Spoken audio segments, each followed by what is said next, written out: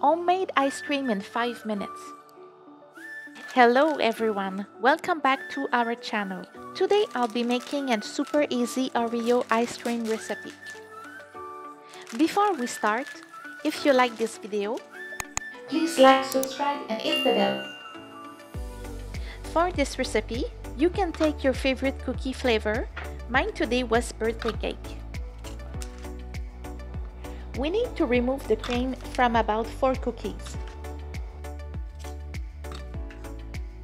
Crush the cookies in a small food processor. This can be done manually if you use a rolling pin and a plastic bag.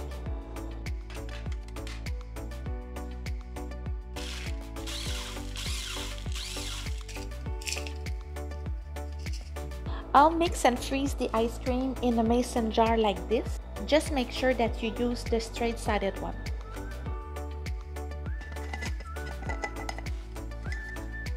We need half a cup of heavy cream, 3 tablespoons of sugar,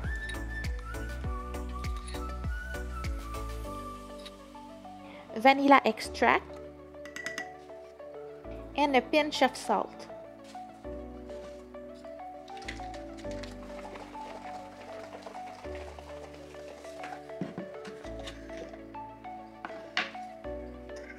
Shake until you get this result.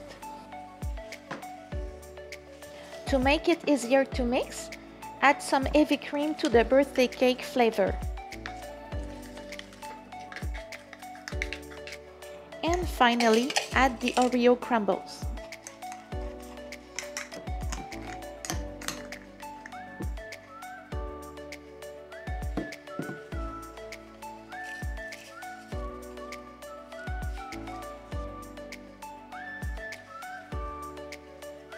Freeze it 2 hours minimum. I hope you enjoyed this recipe. See you in the next video.